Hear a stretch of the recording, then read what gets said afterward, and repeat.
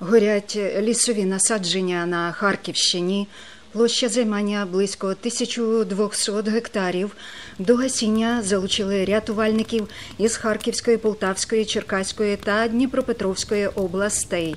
Очільник обласної військової адміністрації Олег Синігубов повідомляє, що через масштабну лісову пожежу зусиллями громади Нацполу, ДСНС, структурних підрозділів цивільного захисту Харківської обласної військової адміністрації довелося евакуювати близько 200 людей із Ізюмського району.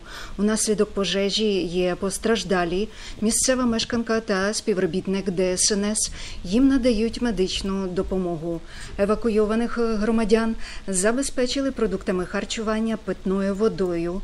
Загалом працюють 275 вогнеборців, залучили 77 одиниць техніки.